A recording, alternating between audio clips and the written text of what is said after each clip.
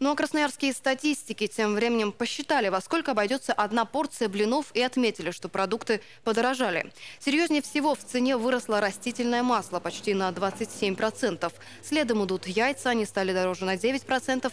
Затем сливочное масло и молоко на 6,5% и 4,5% соответственно.